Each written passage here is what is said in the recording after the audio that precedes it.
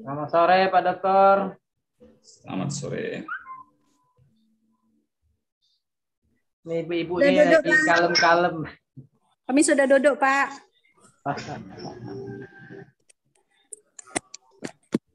Duduk rapi, nama. Baik, oke kita mulai ya. Assalamualaikum warahmatullahi wabarakatuh. Waalaikumsalam warahmatullahi wabarakatuh. Waalaikumsalam warahmatullahi wabarakatuh. Alhamdulillah kita bisa jumpa lagi di uh, sesi berikutnya uh, dalam mata kuliah aspek politik ekonomi sosial budaya pendidikan ya.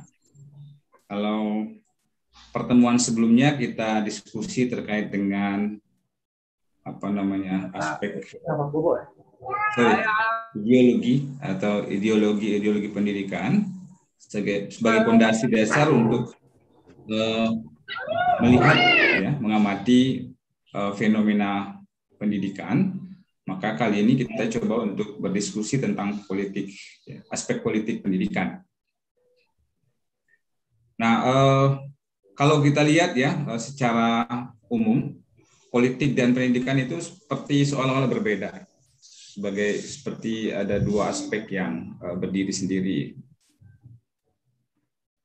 Padahal sebenarnya ini kalau uh, kita baca dalam beberapa literat banyak literatur uh, politik dan pendidikan itu adalah dua dua hal yang sangat ya sangat saling mempengaruhi ya. Jadi politik itu bisa uh, politik itu sangat mempengaruhi pendidikan. Jadi seperti dikatakan oleh Plato itu eh, politik dan pendidikan itu seperti dua sisi mata uang. Ya. Dua sisi mata uang ya. Dua-duanya perlu ya, saling mempengaruhi.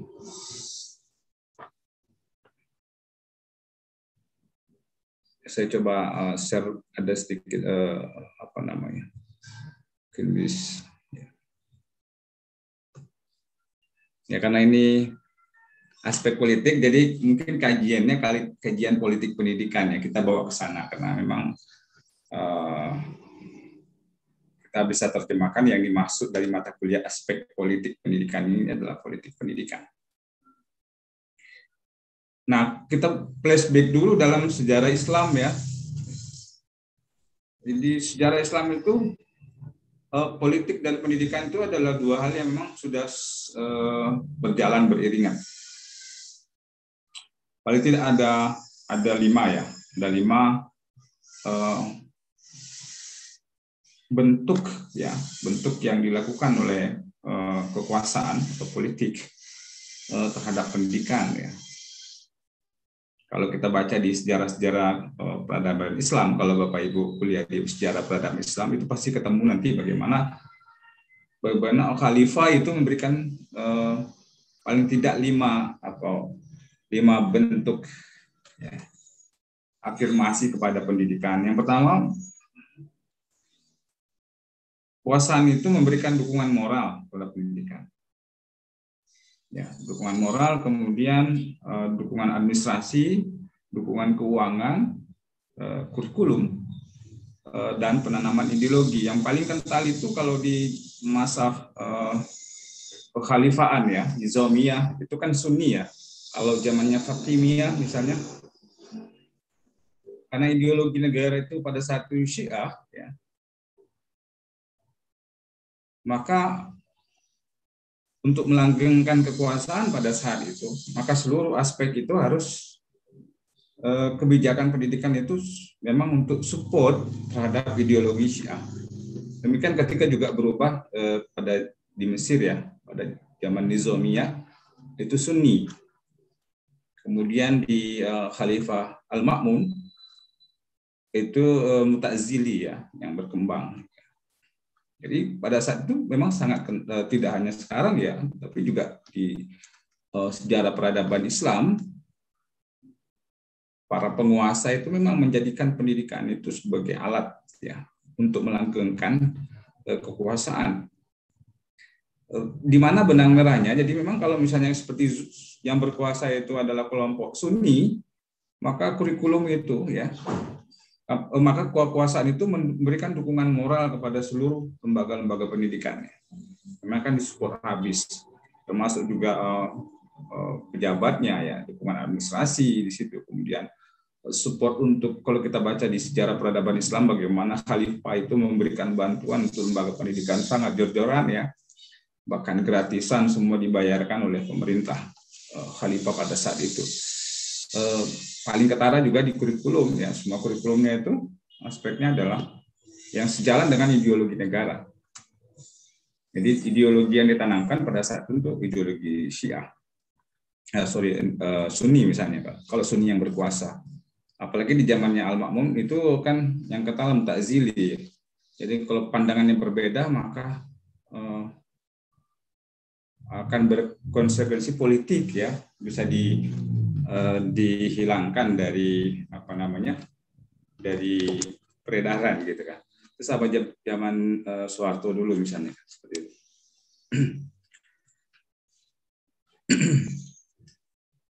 ada dua argumentasi mungkin yang yang bisa kita lihat di uh, kenapa kemudian uh, para pemimpin Muslim itu menjadikan pendidikan uh, sebagai uh, apa namanya alat ya instrumen. Pertama pendidikan bagi mereka adalah uh, sarana pengajaran Islam secara totaliter.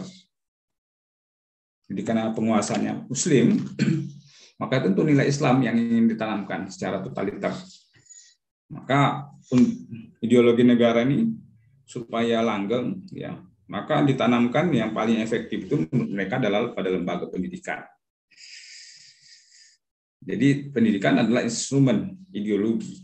Jadi lembaga pendidikan itu adalah instrumen untuk melakukan ideologi. Kenapa harus begitu? Karena kalau ideologinya berbeda, misalnya yang berkuasa adalah uh, Syiah, kemudian yang kemudian ideologi sunnah di, uh, sunni dibiarkan untuk berkembang, maka ini dia akan menggerogoti uh, menggerogoti kekhalifaan, ya, menggerogoti kekuasaan. Nah, itu jadi.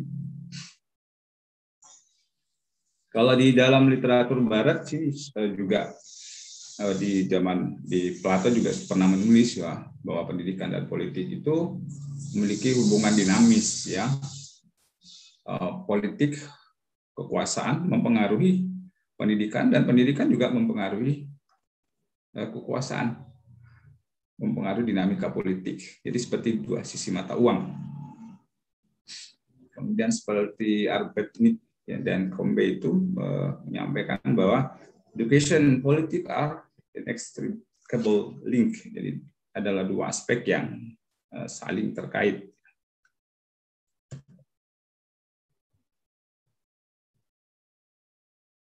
kalau kita lihat aspeknya ya, aspek hubungan uh, pendidikan dan politik itu itu seperti pembentukan sikap kelompok ya, grup attitude ya, kemudian juga masalah pengangguran, kemudian peranan kaum cendekia. Baik, uh, kemudian kita lihat uh, sekarang ini fungsi politik institusi pendidikan. Jadi uh, yang pertama yang Anda boleh baca nanti di bukunya Sirozi ya PhD tentang politik pendidikan. Ya, di sana juga banyak sekali diuraikan yang saya kutip dari pendapat beliau atau tulisan beliau bahwa uh, fungsi politik institusi pendidikan itu paling tidak ada empat. Yang pertama itu institusi, salah tulis institusi pendidikan sebagai alat kekuasaan. Ya, Ya, jadi seperti tadi di zaman sejarah Islam itu. Jadi pendidikan itu eh, instrumen dia ya dijadikan oleh penguasa sebagai instrumen sebagai alat kekuasaan. Kalau Bapak Ibu misalnya lihat di sejarah eh, masa lalu itu seperti di zaman eh, pemerintahan eh, Soeharto ya itu sangat kental sekali ya. Bagaimana kemudian kurikulum misalnya ya. Jadi eh, yang paling mudah masuknya itu di kurikulum ya. Itu eh, betul-betul menjadi media bagi pemerintah ya untuk eh, melanggengkan atau memasukkan eh, ide-ide politiknya ya di situ. Bahkan di negara dan negara berkembang, kalau kita lihat misalnya uh, seperti uh, di negara-negara uh, komunis ya, negara-negara komunis itu itu malah institusi pendidikan itu menjadi uh, arena untuk brain washing ya, jadi untuk cuci otak ya. Jadi pola pemik pola pikir anak muda itu kan di, memang dibentuk ya agar sejalan dengan ideologi komunisme. Dan itu tidak hanya di negara-negara eh, apa ya, itu pun terjadi di negara-negara berkembang.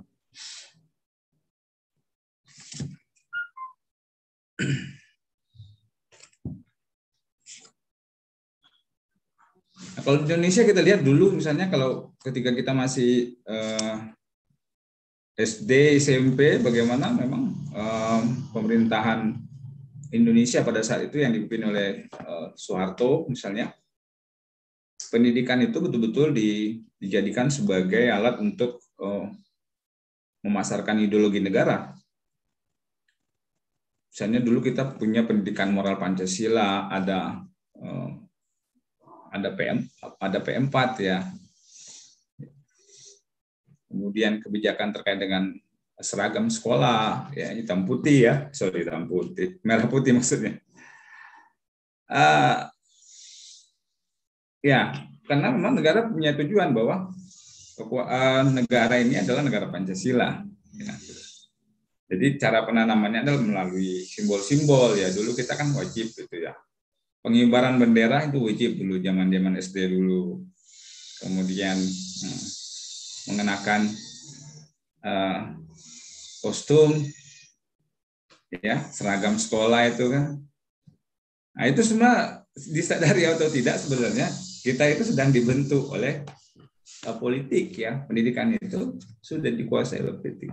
Pembentukan SD SD Impres oleh zaman zaman Soeharto itu sebenarnya dengan kurikulum ya dulu kita belajar tentang uh, PSBB ada mata pelajaran pendidikan apa PS SBB. Ah iya. Pendidikan apa namanya? Sejarah bangsa-bangsa. iya. Itu zamannya saya, Pak, masalahnya. Iya. Masih ingat sampai sekarang. ah itu. Uh, ya, itu sebenarnya itu model-model bagaimana negara itu menjadikan sebagai alat kekuasaan. Ya, kekuasaan yang berpengaruh apalagi dulu kan mainstreaming tentang uh, politik yang berkuasa, kemudian uh, itu masuk di lembaga pendidikan melalui kurikulum. Sistemnya juga ya termasuk. Kalau bicara kita bicara kini uh, kekinian misalnya itu sebenarnya memang kayak MBKM ya. Sebenarnya kelihatan idenya itu bagus ya. Tapi sebenarnya itu sebenarnya alat kekuasaan. Karena kekuasaan hari ini sudah berkongsi dengan stakeholder. Dari dulu mulai dari um, kebijakan link and match itu sebenarnya sadar atau tidak sadar sebenarnya sedang membentuk lembaga pendidikan supaya kalau buat lembaga itu mbak ya yang yang support untuk industri itu pesanan uh, para kapitalis sebenarnya cuman kita tidak sadar ya kita memang uh, tergiring betul-betul dibentuk pemikiran kita ini untuk uh, menyelenggarakan lembaga pendidikan untuk menghasilkan para pekerja. Lahirlah yang disebut sebagai profil lulusan. ya, profil lulusan mau jadi apa? Kan? Sama dengan dulu kan anak-anak sekolah ter mau jadi apa gitu kan. Sebenarnya bentukan-bentukan yang dilakukan oleh para uh, penguasa. Di Malaysia itu kayak dulu juga kayak misalnya Universitas Internasional uh, Islamic University Malaysia. Uh, itu kan juga uh, yang di mana di situ kan uh, Anwar Ibrahim ya pendirinya kan berkonflik dengan Hatim Muhammad. Itu juga kan di dihabisi ya. Di, diawasi maksudnya diawasi oleh pemerintah Mahathir Muhammad ya. Nah begitu juga ya uh, negara kita sebenarnya bukan tidak ini tidak lepas kontrol ya. Hanya memang kalau kita lihat hari ini sebenarnya tidak hanya kalau kita mau lebarkan ini ya, tidak hanya negara yang bermain. Kalau kita lihat bagaimana uh, politik itu mem, sebagai alat kekuasaan, sebenarnya di fenomena lain juga ada Bapak Ibu sekalian. Tapi kita sadar atau tidak seperti misalnya uh, lahirnya beberapa lembaga-lembaga yang berorientasi pada uh, kecenderungan politik tertentu, ya Nah, ini tuh numpang juga ideologi di situ, numpang juga partai-partai di situ. Apa gunanya dia membentuk lembaga itu supaya ideologi mereka itu juga langgeng di situ, dia numpang. Meskipun negara bantu misalnya melalui bos, negara juga nitip. Tapi ini kelompok ini nitip juga. Bahkan mungkin kalau kurikulum lebih besar eh, pengaruh eh, kelompok ini, kelompok yang tidak saya perlu sebutkan namanya misalnya itu lebih kencang sebenarnya secara ideologi. Bahkan beberapa ideologi negara sudah terkuras di situ. Mungkin eh, jarang sekali dinyanyikan lagu Indonesia Raya. Kalau kita kan kalau di sekolah-sekolah kita dulu pas rajin itu Indonesia Raya, kemudian kewajiban eh, memakai kostum yang sesuai, menyanyikan lagu-lagu kebangsaan. Tapi kalau di beberapa sekolah yang diciptakan oleh kelompok politik tertentu, Nah itu kan itu habis itu. Ya. Jadi yang yang sebenarnya bukan ketika bicara tentang politik dan dan uh, fungsi politik institusi pendidikan ini tidak hanya negara yang bermain, tapi juga kelompok-kelompok politik untuk melanggengkan kekuasaannya. Jadi kasarannya begini, dia bentuk sekolah itu kan tidak murni ya. Sebenarnya ide idenya bagus tapi artinya kan kita hari ini kita yang kita diskusikan adalah bagaimana lembaga pendidikan bisa dijadikan sebagai eh, apa namanya alat kekuasaan oleh kelompok-kelompok tertentu. Ya, karena ada misalnya beberapa partai yang membina sekolah-sekolah ya dari situ karena sumber suaranya dari situ. Nah, begitulah eh, model-modelnya. Jadi ini bicara tentang politik dan pendidikan itu tidak eh, tidak persoalan uh, apa ya tidak hanya muslim non muslim ya di, di di masyarakat muslim kita juga prakteknya sangat banyak ya. Nah itu jadi uh, nah yang kedua sosialisasi politik atau politisasi ini yang dimaksud adalah transfer nilai ya, terkait dengan transfer nilai sikap tata nilai kepada generasi muda. Nah ini yang ideologis banget ini ya. Kalau yang di atas itu masih lebih pada banyak simbol-simbol ya. Lembaga pendidikan, alat kekuasaan. Alat bagaimana pemerintah itu apa namanya eh, menjadikan lembaga pendidikan untuk melanggengkan kekuasaan ya. Mungkin lebih besarannya seperti itu. Tapi kalau sosialisasi politik atau politisasi ini sebenarnya lebih pada bagaimana penanaman eh, transfer sikap ya nilai kemudian eh, tata nilai bagi generasi muda. Ini bisa berfungsi dua tadi, Bapak Ibu sekalian. Eh, makanya saya bilang tadi bahwa di Indonesia ini sebenarnya eh, cukup terbuka ya. Hari ini sangat terbuka. Dulu mungkin kalau zaman Soeharto, zamannya eh, Orde Baru maksud saya, itu untuk lahirnya lembaga-lembaga pendidikan itu sangat selektif. Sekarang kan demokratis banyak sekali lembaga pendidikan yang hadir di Republik ini. Dan kalau itu tidak diantisipasi, eh, tidak dia, dia apa ya, dan itu berpotensi menurut saya, berpotensi untuk kan dia ber, bisa berpotensi eh, melanggengkan kekuasaan. Kalau yang diintroduksi itu adalah ideologi negara, tapi kalau misalnya nanti lembaga pendidikan itu mulai memperkenalkan ideologi lain yang bertentangan dengan negara, itu mungkin 10 atau 20, 20 tahun yang akan datang nanti uh, pasti negara ini goyang. Kenapa? Ideologi sudah berubah. Ya, ketika misalnya uh, nilai-nilai Pancasila sudah tidak diajarkan, ya, uh, atau misalnya simbol-simbol negara sudah tidak digunakan, diganti dengan simbol-simbol yang lain, maka ini Nah, makanya sosialisasi politik ini bagi, kepada lembaga pendidikan bisa berfungsi ganda. Dia bisa melanggengkan kekuasaan dan juga bisa merubuhkan. Ya. Jadi lembaga pendidikan itu sebenarnya bisa dijadikan sebagai eh, apa ya alat untuk melahirkan efikas politikal efikasi ya. Jadi semacam kesadaran uh, politik. Kita ini kan termasuk apa ya bukan dalam tanda petik korban ya, bukan korban ya. Kita ini produk. Kita ini semua adalah produk uh, sosialisasi politik atau politisasi ya bahasa bahasa ininya. Kita ini adalah uh, produk ya. Produk artinya kita ini adalah bentukan negara. Sehingga kenapa kemudian kita patuh kepada Pancasila? Nah, kita dari dari SD ya dibentuk. Dari SD dibentuk SD, kemudian masuk lagi MTS atau SMP kita dibentuk lagi dengan ideologi, dengan nilai-nilai Pancasila ya, nilai keberagaman, nilai-nilai toleransi. Maka kemudian kita nih Indonesia ini apa namanya menjadi stabil begini karena memang transfer sosialisasi politik negara itu memang uh, berhasil ya, ya berhasil. Hanya memang uh, bisa juga sebenarnya dalam aspek lain gagal, misalnya uh, karena kan um, ya sunatullah ya uh, era orde baru ya pimpinan Soeharto 32 tahun itu kan tumbang juga. Kenapa? Karena memang di yang menumbangkan apa? Bukan SMP ya bukan SMA tapi perguruan tinggi. Karena di perguruan tinggi itu ideologi banyak. Ideologi liberal ya. Ideologi idealisme mulai ditanamkan. Perlawanan kepada negara mulai dipelajari. Mereka belajar di organisasi ada yang bernama HMI PMI IMM GMNI di situ mereka belajar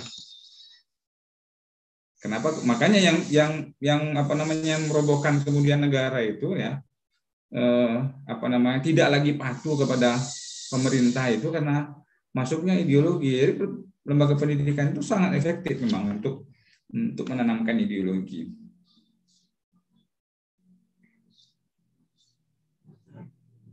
Ya, kemudian yang ketiga orientasi dasar politik ya, political object, values, and attitude. Ini sama aja sih sebenarnya jadi orientasi politik. Nah, dulu kita waktu kecil kan orientasi politik kita karena terlalu sering dicekoki ya, kita lebih apa namanya pro kepada Golkar ya misalnya. Karena yang negara itu kan lebih dekat ke Golkar atau mungkin ke B3 ya, B3 karena kita dulu oh, orang karena kita dicekoki di madrasah gitu orang muslim ya lebih dekat dengan uh, partai P3 karena uh, simbol Ka'bah itu. Kenapa kita tidak ke PDI? Kenapa? Karena memang uh, pengaruh lembaga pendidikan juga karena memang padahal mungkin PDI bagus ya, tapi karena uh, di sekolah kita diajarkan untuk lebih pro kepada apa namanya sesama muslim ya kita afiliasi politiknya itu dibentuk di situ. Jadi orientasi dasar politik kita dari kecil itu dari uh,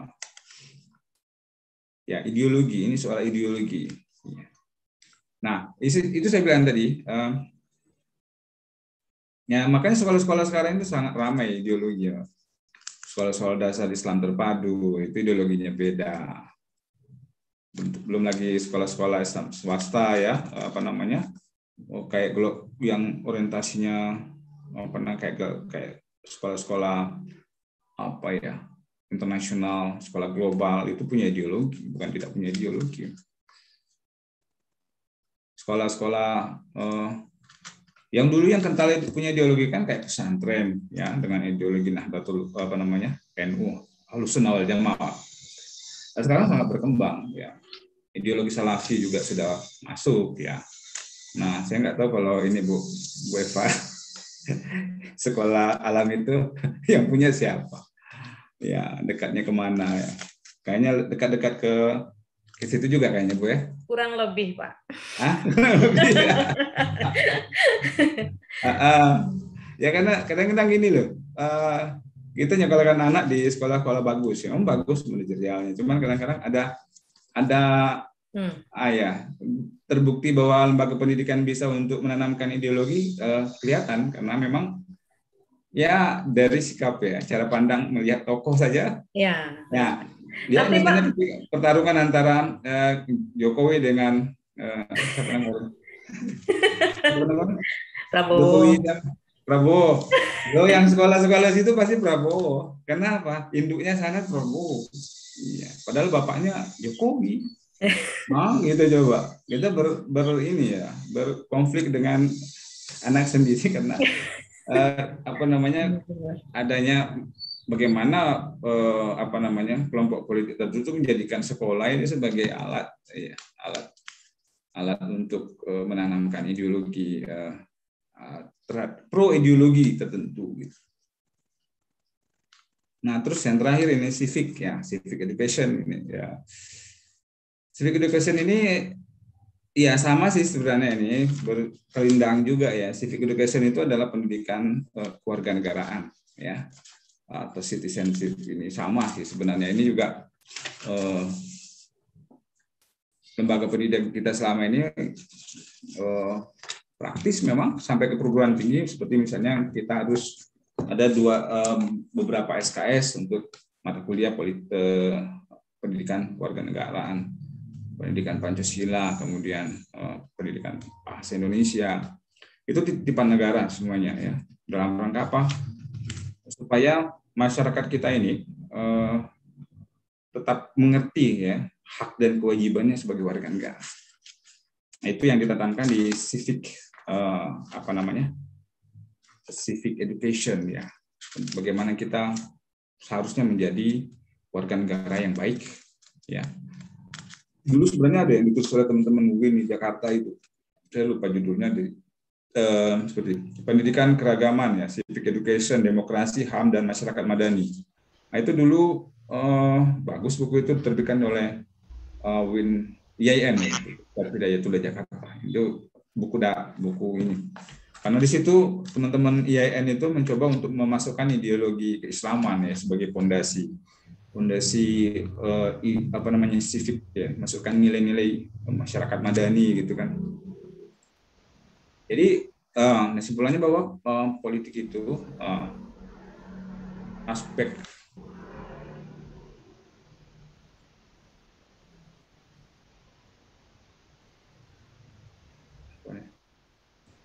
Ya, jadi jadi tidak ada uh, jadi uh, kesimpulannya pendidik lembaga pendidikan itu menjadi atau lembaga pendidikan ya menjadi uh, tempat yang paling subur untuk uh, apa namanya untuk paling subur untuk menanamkan nilai-nilai politik untuk menanamkan nilai-nilai ideologi negara kemudian warga negaraan bahkan untuk apa namanya memperkenalkan ideologi ideologi terbaru dalam rangka untuk melanggengkan kekuasaan. Itu dulu sementara. Mungkin kita lanjutkan dengan diskusi ya, biar lebih apa namanya, dan juga yang lain bisa memberikan uh, kontribusi. Silakan Bapak Ibu sekalian. Pak Dokter, saya izin sambil jalan pulang. Takut saya dewean terus Pak di, di kantor. Ya. ya. Izin Pak mau bertanya atau mau ya. berdiskusi lah. Uh, baik dari yang uh, Bapak jelaskan tadi, uh, jadi bisa saya ngambil keywordnya bahwa politik uh, itu bisa membuat sebuah kekuasaan ataupun menjadi ladang tempat kita berkuasa uh, salah satunya adalah di dunia pendidikan. Nah, terlihat banyaknya ideologi-ideologi yang muncul uh, yang uh, tumbuh uh, semarak di Indonesia, tapi yang saya herankan adalah kita bisa berdampingan damai dengan hal-hal tersebut gitu. Karena semakin ramainya pilihan-pilihan sekolah yang memiliki ideologi yang berbeda baik di pesantren, sekolah IT, sekolah global, internasional ataupun lebih kepada sekolah-sekolah yang uh, mungkin uh, sifatnya itu adalah sekolah-sekolah pilihan lah berupa beberapa macam. Nah, dari sudut pandang yang Bapak sampaikan tadi, uh, saya melihat bahwa sebenarnya politik itu harus di manajemen atau politik itu harus diminimalisir uh, bukan tidak ada tapi harus ada agar uh, pendidikan itu terarah sesuai dengan tujuan masing-masing lembaga masing-masing saya kira. Nah, eh, yang menjadi persoalannya adalah kalau ideologi itu melenceng jauh dari eh, sesuai dengan negara kita karena negara kita memiliki ideologi Pancasila. Nah, bagaimana Bapak memandang ini kalau ideologi kita sudah ditekankan di negara bahwa satu-satunya ideologi yang menyatukan kita semua, baik lintas agama, lintas budaya, lintas sosial adalah ideologi Pancasila. Nah, jika ada satu sekolah saja yang tidak memiliki tidak mempelajari seperti yang disampaikan Bapak tadi seperti PPKN, PSBB, eh, kemudian civic education atau kewarganegaraan, eh, kita menganggap sekolah ini tidak taat ajas sebagai taat Pancasila atau negara.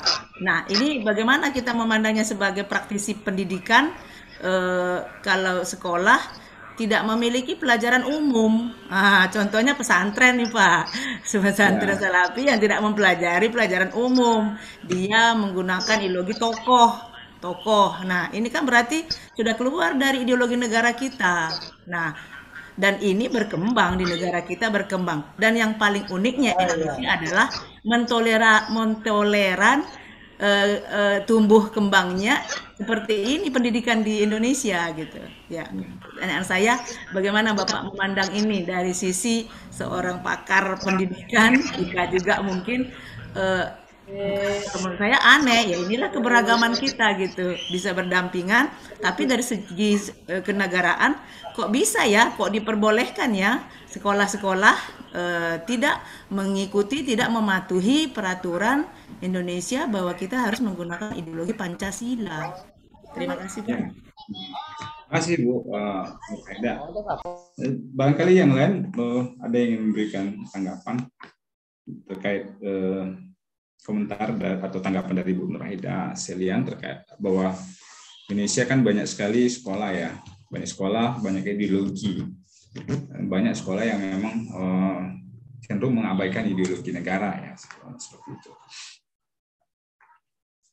Ada yang ingin memberikan tanggapan?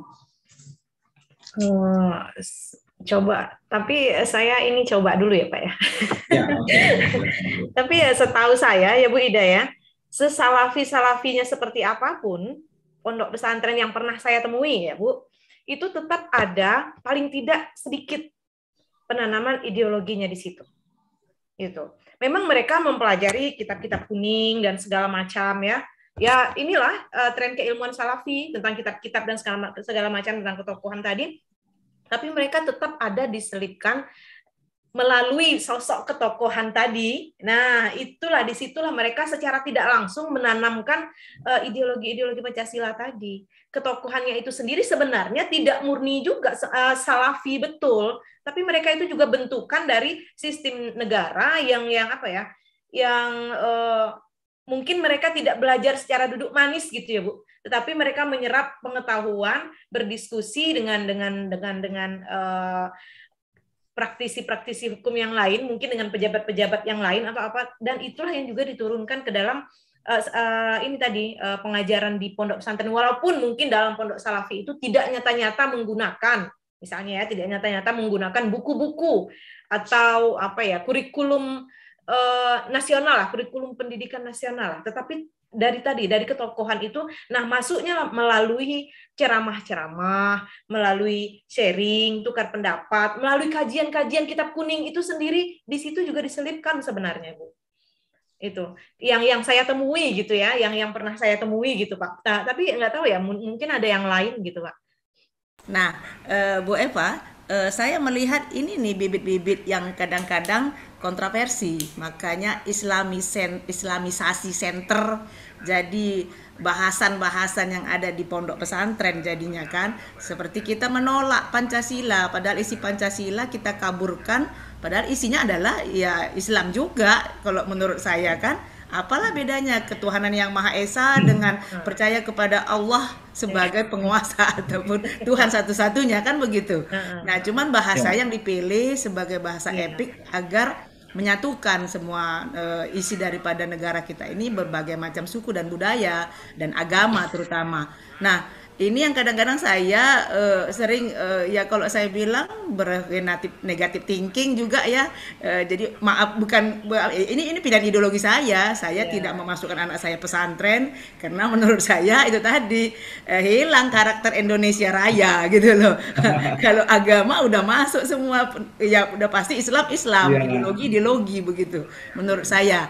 Nah, jadi kadang-kadang muncul kan karena pondok pesantren tidak mempelajari ideologi muncul radikalisme dan notabelenya sering disebutkan bahwa pesantren ini produk radikal nih.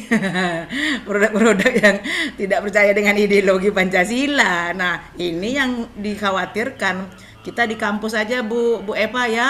Eh, mahasiswa-mahasiswa kita yang mungkin agak sedikit hmm, bagaimana ya dia masuk ke pengajian. Kalau tidak kita perhatikan pengajiannya udah berbentuk uh, seperti itu kita khawatirnya ini bibit-bibit radikalnya muncul di situ ini gitu. Nah itu yang mungkin saya tidak sepakat. Tidak sepakat kalau masih duduk di Indonesia ya tentu harus diajarkan secara ideologi Pancasila secara jelas tidak samar-samar. Sehingga e, masyarakat Indonesia terutama dari anak didik dalam dunia pendidikan memahami bahwa kita adalah memiliki ideologi yang namanya Pancasila. Kalau bicara Tuhan, ya sama Tuhan kita beda-beda ya. Kalau dibilang Tuhan kita satu Allah, mereka nggak percaya karena ajaran mereka masing-masing itu persoalan agama, bukan persoalan ideologi Pancasila. Ya, saya kira gitu. Saya makanya tadi Bapak bilang bahwa memang ideologi menjadi uh, sebuah uh, politik menjadi uh, kekuasaan dalam dunia pendidikan pasti itu Nah, makanya pilihan-pilihan kita tergantung lagi kan. Nah, ya itu tadi dia. Terima kasih ya, Bu Eva. Uh, sedikit mau nambahkan ini Pak. Saya juga hmm. mau nambahkan. Ya. Iya, ini. Jadi seru ya, jadi seru ya. ya jadi begini. Pak Sabli dulu, Pak Sabli, Pak Sabli dulu, Pak Sabli. Oh ya, terima kasih. uh, sebetulnya Ibu Ida ya, uh, tadi sempat Ibu Ida bilang eh, tidak memasukkan anak ke pesantren karena masalah ideologi.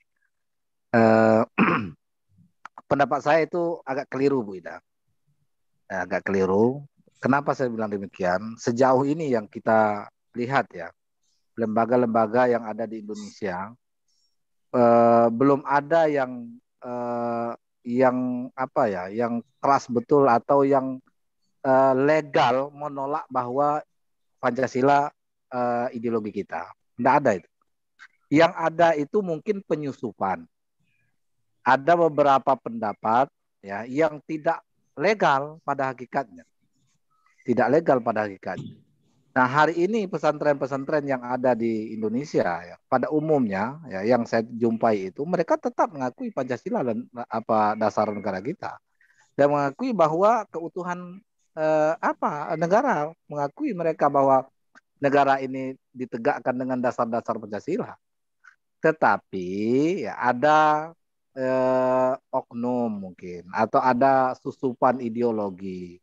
Itu lain berada di maka ada yang ingin memisahkan ya, antara negara dan eh, apa dengan agama. Eh, agama begitu.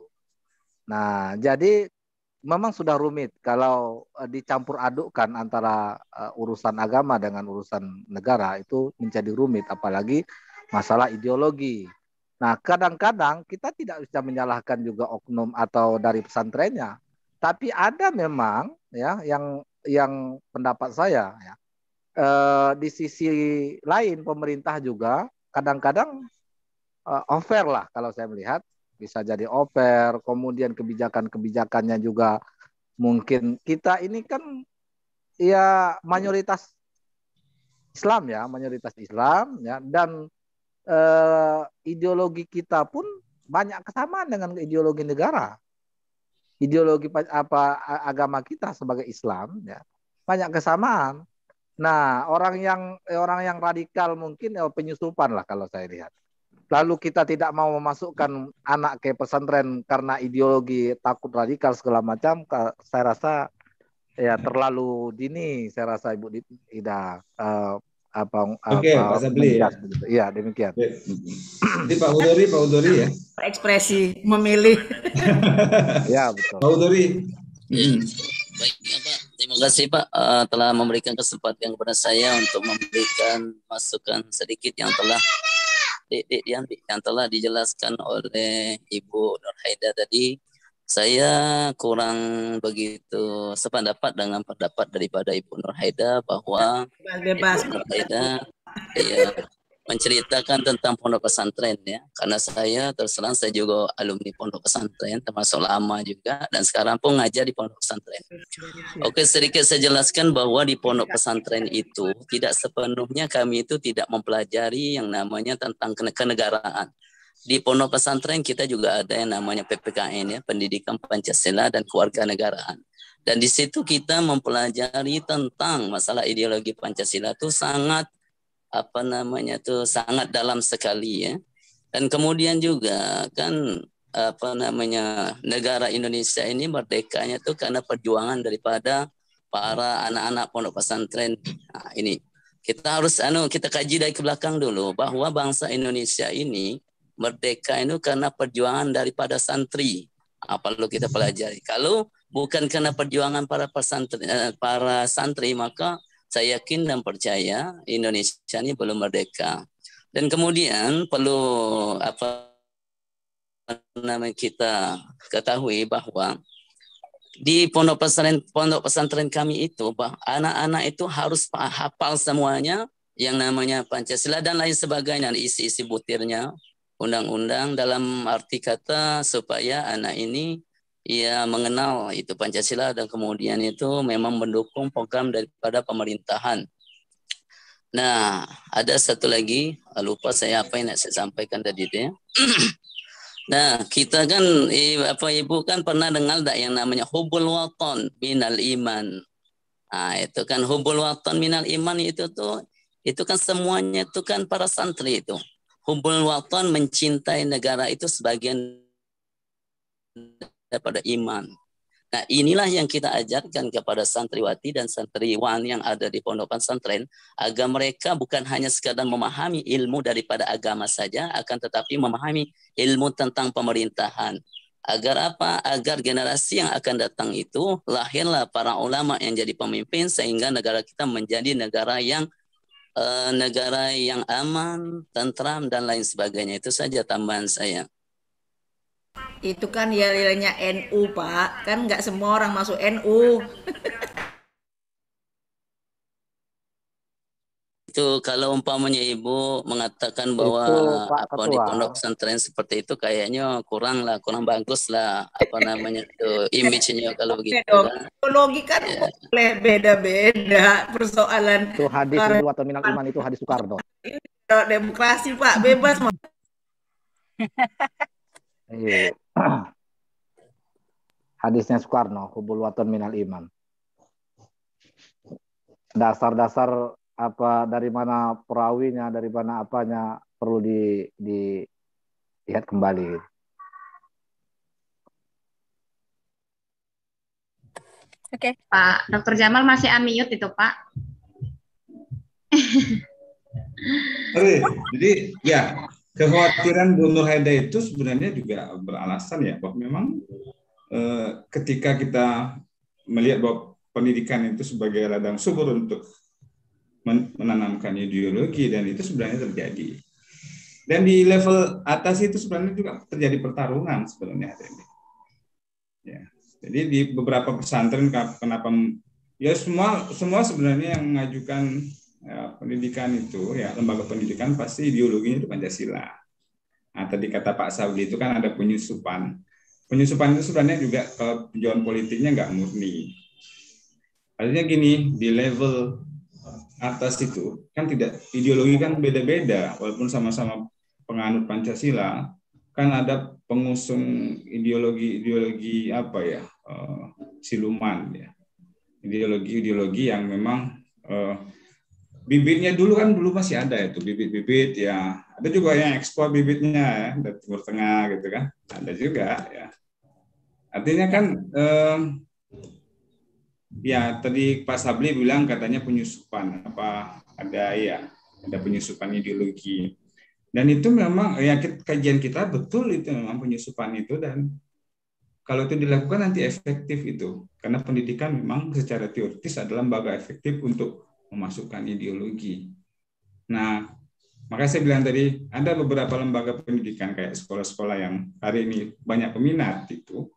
Lihatlah 20 tahun nanti itu akan merubah pola apa namanya? konstelasi politik di Indonesia. Kalau hari ini sangat kental Pancasilais, ya oh suatu saat nanti menjadi apa namanya ada pasti ada kegoncangannya karena itu tadi kita kan kajian bukan kajian politik yang itu tetapi bagaimana kita melihat bagaimana lembaga pendidikan itu sangat efektif untuk menanamkan ideologi. Sangat efektif.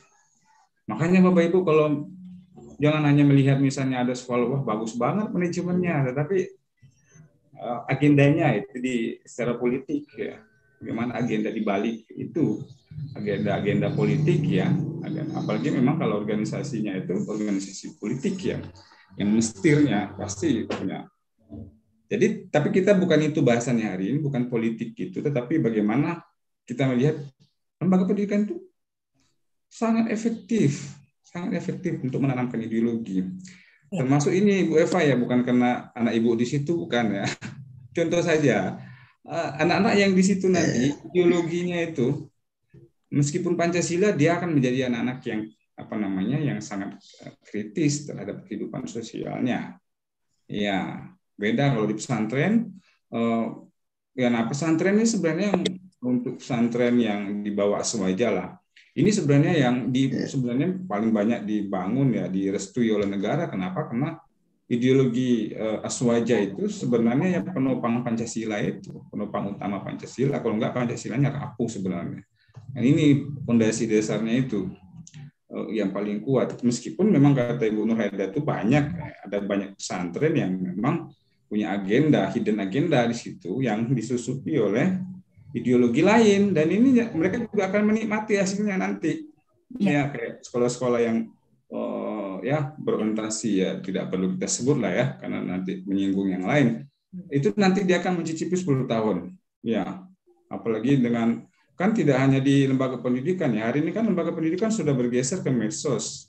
Hmm. Ya, penanaman ideologi eh, tidak hanya di sekolah, malah yang efektif lagi sekarang itu medsos ya penanaman ideologi dan ini nanti ini kan bertemu ini dan membangun satu kekuatan sendiri. Jadi memang nanti kalau kita masih hidup di 20 tahun yang akan datang, lihatlah konstelasi itu pasti akan berubah. Ya. Konstelasi politik di Indonesia akan berubah. Suatu aja yang dulu sangat kental dengan sama selama 32 tahun yang bagaimana lah kita PNS ini kan apa ya uh, kita masuk kuliah tuh P4 ya. 100 jam ya baru dulu P4 100 jam tuh Pak kuliah jam Masih, Pak. Nah, belum lagi dari SD kita dicukupi ya. Mulai dari film G30 SPKI kemudian wajib nonton sebenarnya sih bagus Pak ya untuk untuk ya, nah, harus sisi nah, gitu ya. Saya ingin mengatakan begini, Bu. Saya ingin mengatakan gini, Soeharto aja yang begitu otoriter 32 tahun tumbang kan? Nah, itu aja tumbang. Bagaimana kalau misalnya ini apa namanya eh, dengan model kita kan sudah menerima demokrasi ya. Jadi memang negara ini juga serba salah mau ketat ya terkena apa ya uh, demokrasi. Cuman memang key point kita pada hari ini bukan pada aspek itunya, tetapi bahwa lembaga pendidikan itu adalah tempat yang paling uh, apa namanya ya, dari dulu sampai kini ya. Meskipun sekarang ada pergeseran ke medsos ya, lembaga pendidikan yang uh, berbasis medsos, tetapi lembaga pendidikan adalah memang masih menjadi ladang terbaik untuk menanamkan ideologi eh, politik ya politik tidak hanya oleh negara tetapi juga oleh kelompok-kelompok tertentu ya Ya sih Pak, karena memang secara tidak sadar kita tuh sudah di brainstorming sejak dini ya, gitu. Betul. Itu sudah di sudah di ini kita sudah cuci otak kan sejak dini. Ya. Itu banyak sekarang anak-anak PAUD nah Ibu Nurhaida kan orang-orang PAUD nih, Ibu-ibu Rita gitu kan. Itu sebenarnya penanaman ideologi itu sudah ada sejak dini dan memang tidak ya. bisa dilepaskan Pak selama kita masih berada di Indonesia. ya, Kecuali kalau kita pindah ke New Zealand gitu ya. ya. Di negara-negara lain juga begitu. Ya, betul. Sebenarnya ini kan bukan pembicaraan negatif positif, tetapi ya. membicarakan bahwa lembaga pendidikan yang efektif ya dan eh, efektif ya dia timbal balik sebenarnya. Ya kelompok tertentu atau negara mau apa namanya melanggengkan kekuasaannya kepentingan politiknya melalui pendidikan. Nah pendidikan juga ya pendidikan juga membentuk ya mindset ya. Pendidikan ini kalau apa namanya tidak mau menerima yang lain tidak apa-apa dia bisa bentuk dia bisa membentuk anunya uh, timbal dia bisa membentuk pola politik yeah. Indonesia makanya Indonesia itu pola politiknya karena kalau kita analisis banyak pesantren pesantren itu lebih banyak lebih apa namanya uh, ideologi lebih uh, EU nya tinggi makanya memang masih mem, apa namanya dominan untuk memilih lembaga apa namanya uh, partai keislaman, kemudian yang apa namanya pemimpin yang uh, Java sentris misalnya seperti itu atau misalnya kepatuhan kepada kepada pemimpin ya. Lebih bagus masih kuat karena apa? Pesantren buahnya pesantren di situ ya. Kecuali kalau di Indonesia nanti menjamur lembaga-lembaga yang di apa namanya non pesantren yang sudah modern wah itu kita mungkin bergerak ke kayak negara-negara di USA ya yang sudah uh, lebih kritis ya. Kalau ideologi kemarin ideologi kritis ya kita ini kan masih ideologi yang oh, konservatif dan apa ya ya lebih konservatif sebenarnya lebih banyak kepatuhan kepada uh, negara itu. Tapi, Ada lagi yang ingin memberikan izin apa? bertanya Pak. Tapi walaupun ini saya ini kayaknya semakin sore semakin menarik. ini kan kita berbicara tentang pendidikan ini kan kita kalau kita bicara tentang pendidikan kita tidak terlepas dari yang namanya kurikulum ya Pak ya. Nah tadi kan yeah. Bapak kan bilang bahwasanya kurikulum uh, itu memang juga titipan atau memang uh, yeah. ya titipan-titipan penguasa gitu kan di mana nanti nanti di mana warga negara Indonesia ini sendiri bisa membangun negaranya kan seperti itu Pak. Tapi yeah uh, kadang kita sendiri sebagai tenaga pendidik itu kewalahan seperti kurikulum K13 ini sangat kacau sekali dalam dalam pembelajaran gitu kan. Nah, sebenarnya sejauh mana gitu campur tangan pemerintah untuk uh, menyusun kurikulum ini gitu nah. Kok sepertinya uh, terlalu ini ya, Pak ya? maksudnya terlalu campur tangan gitu. Maksud saya ter, gimana ya terlalu dalam. Mungkin di satu sisi memang oke okay lah politik silahkan gitu kan. Namun jangan juga terlalu masuk terlalu dalam maksud saya pemerintah ini dalam penyusunan kurikulumnya gitu nah karena kita harus memperhatikan seperti uh, kata omongan bapak kemarin kita juga harus memikirkan anak-anak kita ini bahwa anak-anak ini adalah manusia gitu nah bukan robot gitu kan nah itu pak di mana sejauh mana sih sebenarnya batasan-batasan campur tangan dari pemerintah untuk turut andil dalam menyusun kurikulum di Indonesia. Sehingga sampai sekarang kita berganti-ganti terus kurikulum. Sebenarnya isinya sama, casing saja beda. Ya kan? sebenarnya isinya sama, pola penyajian saja yang berbeda gitu kan. Hmm. Nah, itu saja bolak-balik ya, sebenarnya. Ya, ya Ibu Eva ini kan cenderung sudah masuk masa kritis ya. Jadi gini Bu ya, saya lebih suka nyontohin yang BKM lah. Merdeka Belajar Kampus Merdeka. Kalau K13 saya nggak terlalu menguasai. Ya. Nah, MBKM ini sebenarnya kalau kalau Bapak Ibu sebenarnya mau uh, ini sebenarnya melatih kita daya kritis kita sih sebenarnya kalau di S3 ya. Itu enggak murni sebenarnya kampus merdeka. Jadi uh, apa? Uh, hari ini kan negara itu sangat dekat dengan stakeholder. Sangat dekat dengan penguasa. Ya, pertama dia sebenarnya ingin apa namanya? Itu masih paradigma link and match. Bagaimana nanti anak-anak kita keluar masuk kerja.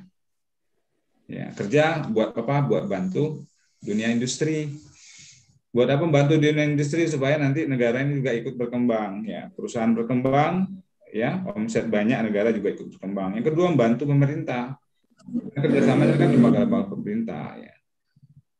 Kemudian kalaupun ada kayak eh, apa namanya kegiatan kegiatan pembangunan pedesaan itu kan untuk sebenarnya juga dalam rangka untuk kepentingan negara. Jadi apa ya kalau kalau bermasa kritis sebenarnya melihat MBKM ini sebenarnya Seperti iya PHP 2D ya Pak ya. Iya, betul ya sama ya kurikulum itu sebenarnya memang tidak eh, mau negara yang nama negara pasti dia nitip. nggak ada negara itu nggak nitip, pasti dia titip ideologinya, pasti dia titip kepentingannya. Sekarang yang paling kental kepentingan kapitalisme itu.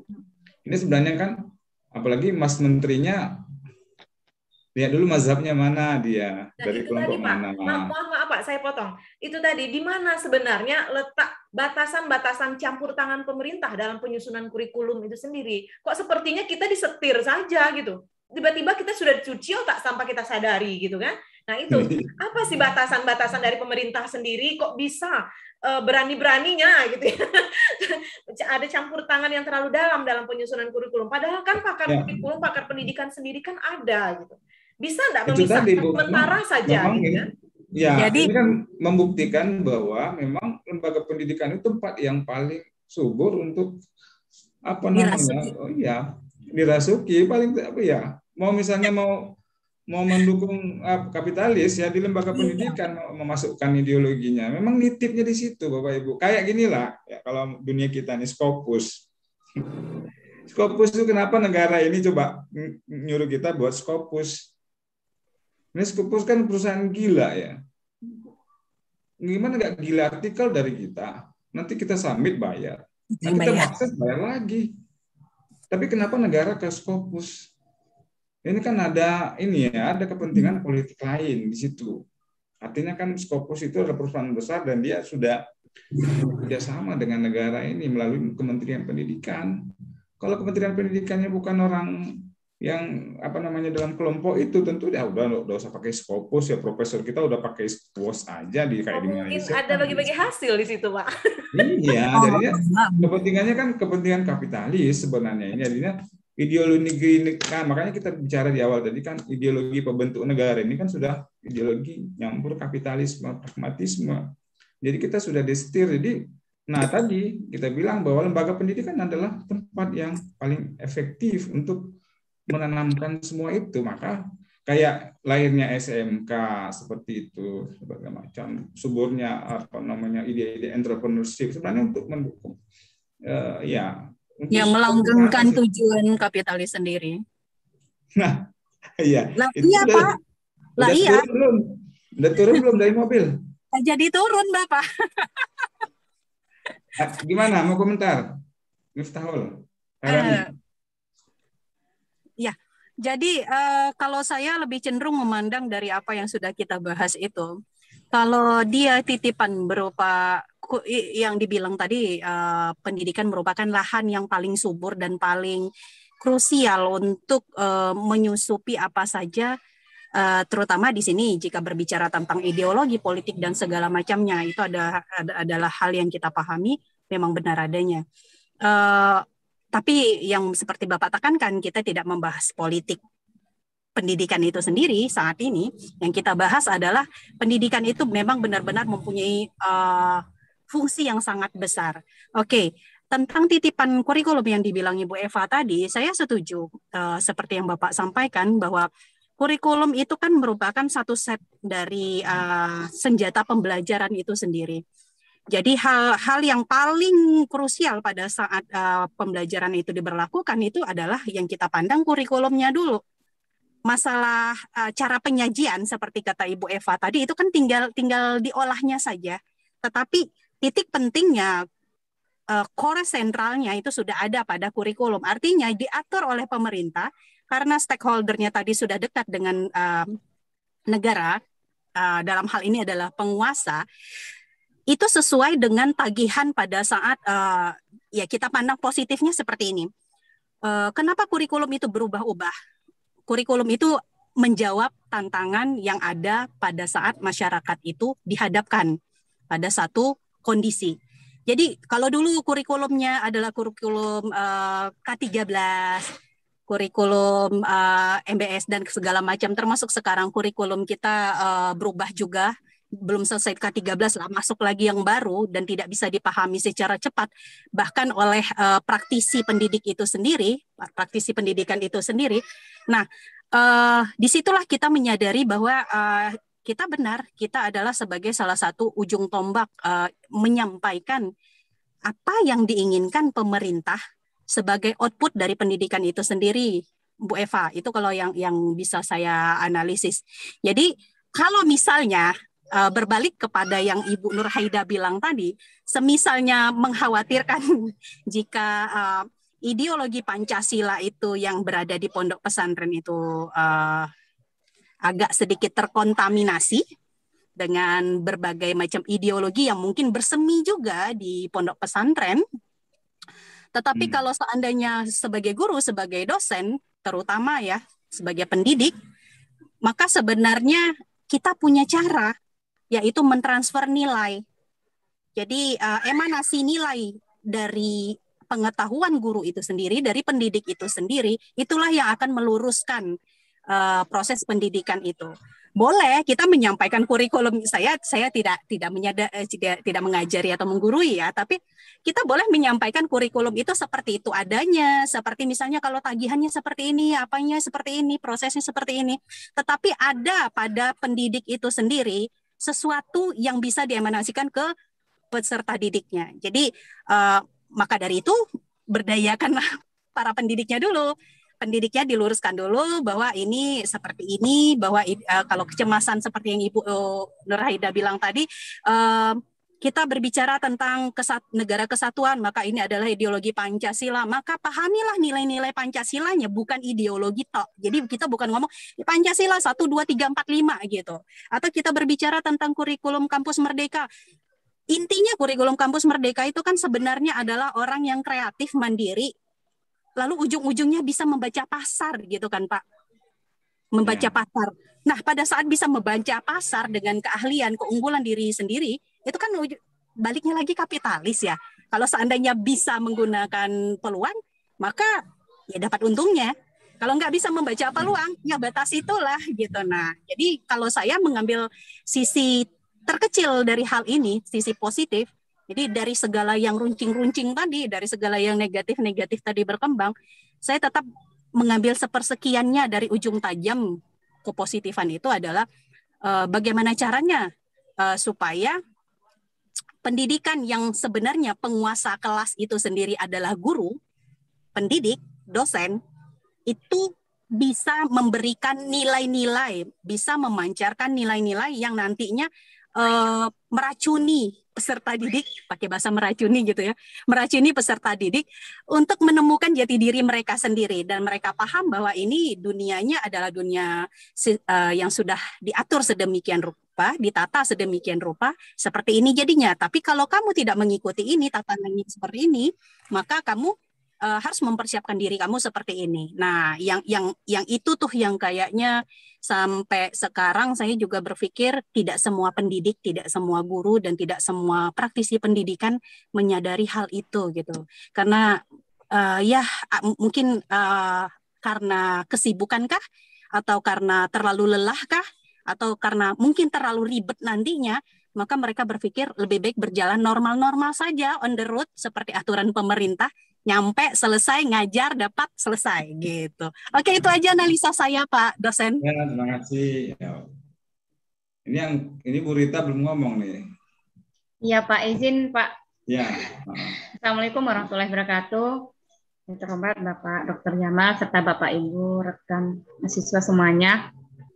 Saya ada menyimpulkan dari yang disampaikan uh, Ibu Ibu Ira barusan Pak. Juga ke pertanyaan yang ingin saya sampaikan, Pak. Eh, jika di kampus kita sudah menerapkan kurikulum kampus merdeka, eh, bagaimanakah eh, ke depannya untuk mahasiswa-mahasiswa khususnya yang calon dokter ini, Pak, gitu kan, eh, terkait dengan eh, pengelolaannya Kemudian keberhasilan dari mahasiswa-mahasiswanya sejauh ini sudah berapa persen penerapan kampus merdeka ini.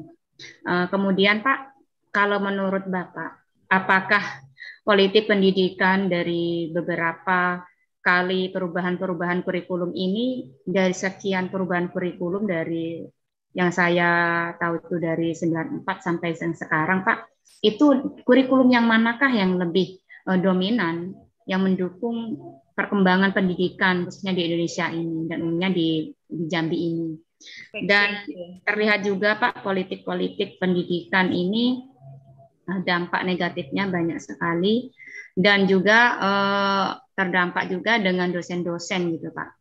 Jika memang dosen itu menetapnya di kampus, ya jaya dia gitu kan. Tapi kalau tidak ya tidak begitu. Ini banyak terjadi di eh, perguruan-perguruan tinggi swasta Islam gitu Pak. Bagaimana tanggapan Bapak eh, dengan politik pendidikan yang ada di kampus ini? Terima kasih itu aja Pak. Ya, oke, makasih. Hmm, apa tadi MPKM? Jadi oke okay, kurikulum ya, kurikulum. Iya Pak. Kurikulum uh, yang sebelumnya itu kan apa K13 ya? Kenapa ini? 94. Dengar nggak? Ya Pak, dengar Pak. Pak. Jelas Pak. Oke. Okay. Tapi selalu selalu ada tulisan itu. Ada tulisan. Atau ini tadi si Ira yang minta ini request. Eh, bisa dia nonaktifkan nggak anu sini? Ra. Itu saya minta, tetapi uh, sepertinya cuma di share copy link Pak. Mungkin dari Bapak itu bisa deny-nya, di deny dari sana. Reject dari sana. enable ya, soalnya saya Iya, enable-nya itu. Enggak, tadi udah di enable. Mengganggu Pak ini, pas beli ya. Baik, jadi um, kurikulum ya. Ya itu tadi sebenarnya kurikulum itu adalah uh, apa pun kurikulumnya ya sebenarnya. Yang yang baik itu apa ya? Ya, ya artinya gini ya, perubahan kurikulum itu merujuk pada maunya negara itu apa gitu loh. Pesan titipan dari dari tetangga gitu. Kita ini kan mazhabnya Amerika punya ya positivistik kapitalis bukan uh, komunis ya bukan uh, kita kan mazhabnya kan barat ya. Bukan timur bukan ke timur tengah juga bukan ke komunis. Kalau mazhab negara kita itu lebih dekat ke timur tengah mungkin tidak se seperti ini model kurikulum kita atau mungkin mazhabnya ke uh, Rusia yang komunis mungkin tidak seperti ini. Tapi karena mazhab kita kan ke kelompok-kelompok uh, kapitalis ya bukan sosialis yang di uh, Rusia ya makanya begitu orientasinya adalah orientasi bisnis ya. Di uh, profit oriented gitu. Jadi kalau K13 itu kan kentalnya apa ibu apa ya? Profil lulusan ya. Akan harus ada profil lulusan mau jadi apa ini pembentuknya nanti ya CP-nya terus maka mata kuliahnya ini di merger. Yang nggak penting-penting nggak usah. Sadar nggak bapak ibu bahwa kita membuang banyak mata kuliah yang ini yang hakiki gitu kenapa? Makanya matilah Usuluddin kemarin kalau nggak dibantu. Dia afirmasi Usuluddin kajian-kajian keagamaan itu kan pelan-pelan habis peminat. Kenapa? Negara ini nitipkannya itu kurikulumnya positivistik artinya kurikulum yang ya tadi yang saya menyebutnya kapitalis saja lah yang di belakangnya itu. Karena memang uh, profit oriented ya. Tujuannya pendidikan itu buat kerja. Makanya di merger lah sebenarnya semua mata kuliah. Dulu ada mata kuliah yang bagus ya kapitas rekta. Sekarang nggak katek lagi apa oh, ilmu-ilmu kalam apa. Habis di merger semua kalau kalau bisa agama itu satu saja bagi mereka tuh. Benar sekali Pak, asli. Iya kan gitu. Jadi yang banyak itu apa? Yang pembentuk profil lulusan. Misalnya profil lulusannya mau jadi entrepreneur. Nah, pembentuknya apa? Ya. Pengetahuan tentang e-commerce, pengetahuan tentang apa namanya eh, bagaimana berbisnis yang baik dan sebagainya. Itulah yang harus Nah, itu sadar atau tidak, kita sudah bagian dari situ sebenarnya. Di, di, di Jambi itu, iya dulu kayak IAT ya, ya kalau tidak diafirmasi dengan yang penghafal Quran masuk ke situ ya kolaps ya. Sekarang kan peminatnya paling juga sedikit-sedikit ya. Yang peminat banyak itu kan masih PAI. Kenapa PAI? Karena negara ini masih rekrut guru ya di Indonesia ini guru paling masih favorit ya sekarang di Win Jambi contohnya kayak ekonomi Islam. Kenapa ekonomi Islam? Ekonomi Negara Islam. yang membentuk kita seperti itu. Bahwa ekonomi Islam itu paling laris meskipun telah tamat nganggur juga kan. Jadi sebenarnya sebenarnya kan Pak, kalau tagihan negara adalah uh, outputnya, maka sebenarnya harus disadari bahwa uh, kalau kurikulumnya adalah kurikulum yang dititipkan kata bahasa kasarnya kapitalis tadi ya bahasa kasarnya halus Uh, jadi kaum kapitalis tadi sebenarnya kan jiwa entrepreneurship itu uh, cuma bisa diasah. Jadi kalau dia punya bakat ya memang ada bakatnya, masalah pengasahan saja. Pengasahan apa apakah itu sudah menjadi satu hal yang diharuskan? Wajib semua yang masuk uh, ekonomi Islam itu jiwa entrepreneurship-nya harus sekian persen gitu loh. Padahal kan tidak ya. Kita sadari banyak kok uh, pengusaha yang tidak berasal dari orang yang ya iya seperti itu gitu kan. Nah, kayak uh, ini lah kayak apa namanya? Kayak Bapak Ibu lah. Dulu kan masuk kuliah kan bukan nyari kerja, kan kerja juga. Iya, kerja Pada juga. Pada saat itu mazhabnya kan tidak tidak kan tidak kapitalis itu maksudnya para pemilik modal maksudnya yang menguasai negara kita kan pemilik modal. Jadi dia bisa saja apa saja maunya titipnya ke kementerian. Kementerian lu kita mau gini nih. Ya udah menterinya kayaknya bagus kayak ini MBKM deh kayaknya. Ini begitu. Dia nitipnya ke situ. Saya mau misalnya eh, apa ya ingat nggak kebijakan BHM ya? Eh, apa uh, perguruan tinggi ya berapa perguruan tinggi itu kan di force. Kenapa? Kayak UGM, ITB di force untuk menjadi mandiri, nggak boleh tergantung ke negara, dia harus ini sendiri. Oh jadi iya, iya karena ini kajian politik kita nggak bisa menafikan adanya titipan itu, titipan dari kelompok-kelompok ini ya plus anu lah plus berkepentingan. Chinese lah, Chinese kan mengembangkan dunia industri sangat kuat ya, dia butuh karyawan, dia butuh pekerja, Nah, lembaga pendidikan lah yang paling efektif. Nah, makanya kita sudahlah profil lulusan nanti bentuk lagi dengan MBKM. Klops jadi robot, kan? jadi mencari seseorang artinya dunia pendidikan itu kata lainnya Pak sekolah, eh, pondok eh, sekolah gitu ya. Pokoknya dunia pendidikan, lembaga pendidikan itu tak lebih tak kurang sama halnya seperti perusahaan kan Pak ya atau ya, ya garmennya kalau kita bicara jadi ada produk-produk yang sudah ditetapkan standarnya sehingga ya, kan ya seperti adanya itu. ban PT, adanya ban SM itu kan untuk supaya kita nggak boleh ke mana-mana ya seperti ini modelnya. Ya, berjalan normal saja. Ini, Mengukurnya kayak gini nih caranya. Jadi memang habis di situ kadang-kadang memang. Oh, jadi artinya kreativitas tertekan dong Pak. Iya pasti. Banyak, banyak dosen yang pokoknya ya banyak dosen dan kan lihat misalnya kuliah nggak boleh lama ya. persiapan, pada Paling persiapan lama. pengajaran. Ya itu saja sudah kena jajah kan ya? Iya. Standar kuliah itu kan paling lama tujuh tahun. Tapi kalau bagus dibuatnya tepat waktu empat tahun coba. Kalau bisa empat tahun nggak usah lama-lama. Udah dapat ilmunya udah kerja sana. Kan begitu. Buat apa kerjaan mendukung dunia industri. Kalau kita nggak terasa banget yang win. Perguruan tinggi umum Benar. Itu kan itu kan orientasinya kerja semua. Kalau kita ini kan masih ada yang jadi marbot ya, yang tamat satu ya. Jadi nah, itu kan nyambil Bapak. Kalau itu mah nyambil itu maksudnya pekerjaan marbot itu nyambil. Nah, maksud saya gini, kalau perguruan tinggi itu umum itu itu nyata-nyata loh, karena dia teknik iya benar, benar. Mereka jika tidak dapat, mereka apa berarti kan tidak berguna ijazahnya. Tetapi jangan salah, yang kayak marbot itu cuma sambilan. Boleh tanya deh sama Pak Hudori, apakah itu salah satu cara untuk survive gitu kan? Gak, itu bukan kerja, gini, itu sambilan Bapak. Maksudnya gini, kalau kita orang Kalau dia nyaman di marbot itu nggak apa-apa selama-lamanya, Bu Ira. Langsung nyepak Pak Hudori dia. Gini maksud saya nah, tadi marbot itu gini, lebih paham, kalau alumni UIN, ya itu kan tidak langsung ditangkap oleh dunia industri. Itu maksud saya tadi. Kita masih bisa jadi apa namanya pekerja-pekerja yang lain, jadi guru, jadi marbot, apalah. Kalau ya, yang perguruan tinggi umum itu karena kan, pemangku jabatannya belum paham kali Pak. Kalau mereka memang sudah pakarnya di bidang agama, dia bisa membaca peluang. Pasti kena juga kan. Nah ini ini tadi kan topiknya bagaimana uh, dunia industri itu mencengkram lembaga pendidikan melalui negara jadi semua output negara uh, lembaga pendidikan ini kan nanti titipnya di dunia industri. Ya kan gitu digaji dengan kontrak coba. Dua tahun diperbaharui kan begitu. Jadi saya ingin menyampaikan tadi bahwa yang menguasai kita ini adalah para pemilik modal. Dan pemilik modal itu menitip ke, ke negara-negara itu karena eh, ini politik tadi. Jadi artinya apa?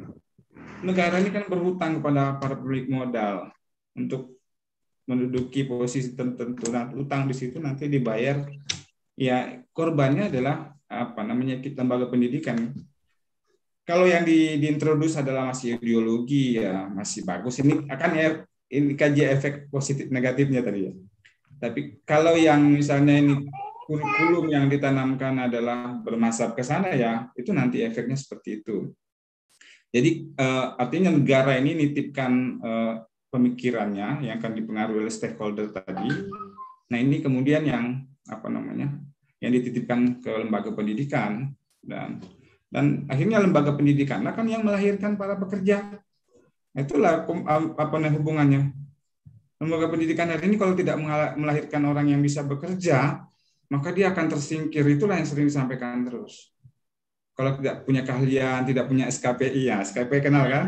Nah, keterangan pengganti ijazah, ada pendamping ijazah, sorry, pendamping ijazah itu kan apa? Apa isinya Bapak Ibu? Keahlian-keahlian buat apa? Buat kerja di dunia industri, karena dunia industri mensyaratkan itu, iya. ya kan? Nyata betul itu, itu titipan industri, bukan murni negara, bukan negara artinya Ya, artinya orang memanfaatkan betul bahwa lembaga pendidikan itu tempat yang paling subur untuk uh, menuai ya, menyuburkan sesuatu gitu. Ya. gitu. Oke, Pak. Ah, siapa nih? Uh, Pak, Pak, Pak Dokter, sebentar. Itu tuh matikan view transkripnya, Pak. Kalau di Bapak ada view transkrip pada kalau di HP pada more itu ada view full transkrip. Transkripnya matikan aja, Pak. Ya sebentar, ini lagi saya enggak ini. Bentar, langsung ya Pak, langsung saya cari sambil nyari karena di apa? Silakan Pak, tadi yang mau memberikan kontribusi. Ya. Baik, terima kasih atas waktu yang diberikan kepada kami uh, menanggapi apa yang telah dibahas uh, ya, yang sedang dibahas mengenai politik dan pendidikan uh, sebenarnya kan kalau kita berbicara masalah politik memang ini sangat hangat sekali sebenarnya. Kemudian pendidikan ini memang tidak lepas juga dari politik karena politik ini uh, memang tujuannya seperti yang Bapak sampaikan tadi bahwa untuk menyuburkan ya sesuatu sehingga nanti ladangnya adalah dalam dunia pendidikan. Nah, yang mau saya tanyakan di sini adalah kalau kita melihat uh, fenomena yang ada di negara kita Indonesia, ya tadi juga telah dibahas bahwa kita cenderung kiblat kita ke barat karena Pak ya. Nah, kalau ke barat itu tentu ya negara-negara kapitalis yang berorientasi kepada profit itu sudah jelas sangat jelas itu.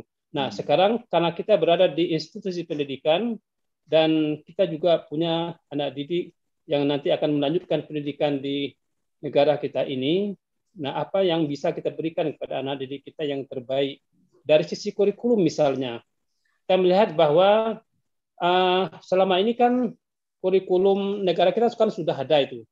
Memang kemudian ada perubahan-perubahan. Perubahan kurikulum itu memang wajar, memang sesuai dengan situasi dan kondisi kan gitu.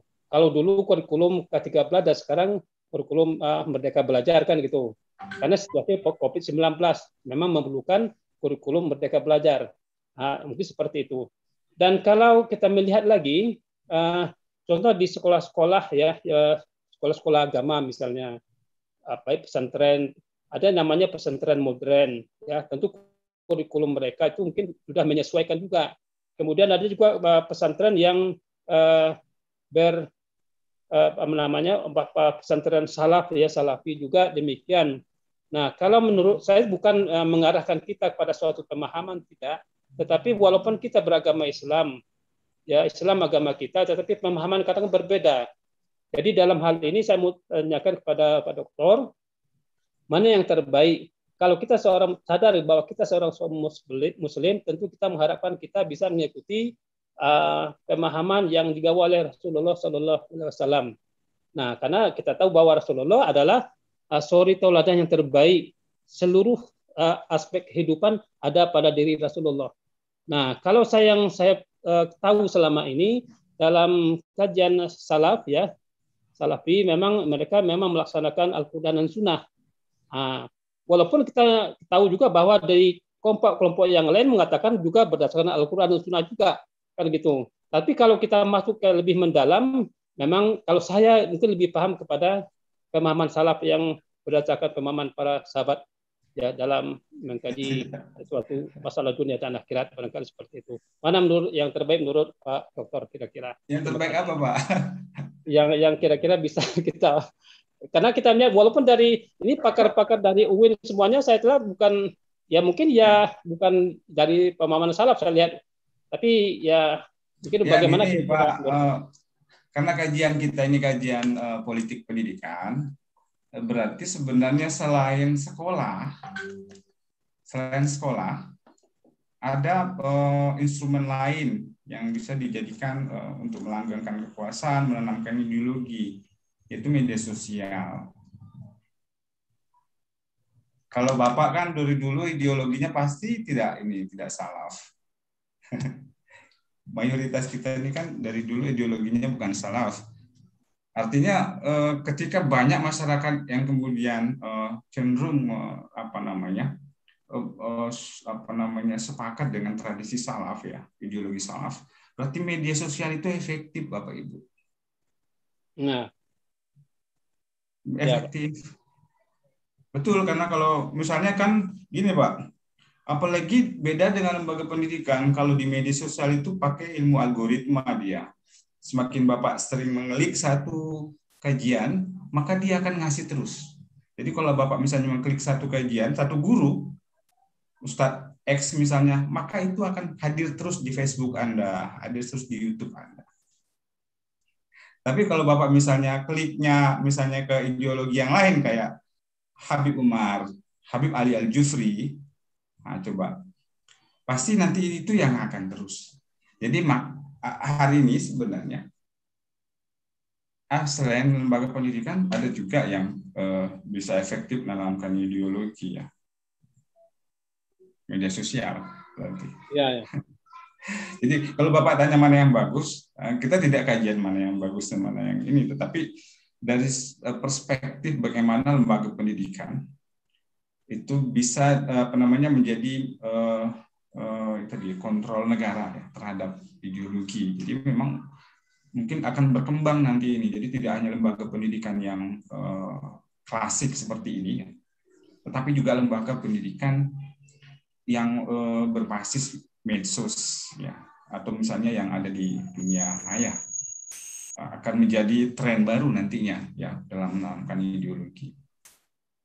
Karena kalau lihat pandangan Bapak tadi kan mungkin dari dulu Bapak tidak begitu cara pandangnya ada. Iya Pak. Pak siapa nih? Pak ya. Bapak kan kalau lihat, oh iya kalau karakternya sepertinya bukan salaf ya, nggak punya jenggot ya, nggak punya nggak cingkrang ya. Jadi Pak, gini Pak, uh, makanya sekarang kalau kami di di Unja itu baru baru baru ini ya, uh, baru selesai melaksanakan uh, apa namanya moderasi uh, moderasi keberagaman. Nah, moderasi agama seperti itu. Ya. Jadi uh, di mana nanti dituntut di situ kita untuk tetap menjalankan ideologi negara, namun dituntut juga tetap menjadi seorang uh, apa uh, Muslim yang kafah seperti itu. Jadi uh, menyeimbangkan antara uh, agama dan ideologi negara melalui apa wadahnya? Ya. Ini pendidikan. Pendidikannya seperti yang melalui kurikulum apa? Kurikulumnya kurikulum pendidikan agama tadi. Seperti itu. Ada moderasi beragama. Dan itu sebenarnya sudah sudah dilaksanakan di setiap universitas di Indonesia, eh, terutama di saya kurang tahu kalau yang di ini Pak ya, yang uh, Universitas Islam, tapi kalau untuk universitas apa namanya? Uh, negeri itu yang umum maksud saya itu uh, sudah uh, menjalankan moderasi beragama melalui uh, apa ya. namanya? Ya. Ada ada organisasinya, Pak. Memang, Pak. Dari situ ya, Bu. Pak sebagai informasi di Kemenak, di Kementerian Agama itu sudah berlangsung itu pelat apa? pelatihan kita satu ya. minggu. Iya, betul. Si beragama. Nah, ini ya, itu sebenarnya gini, Bu. Lebih uniknya, kenapa ya. istilah moderasi beragama? Nah, ini nah, yang Nah, itu kenapa nah, tidak moderasi bernegara? Dimodernasikan begitu loh.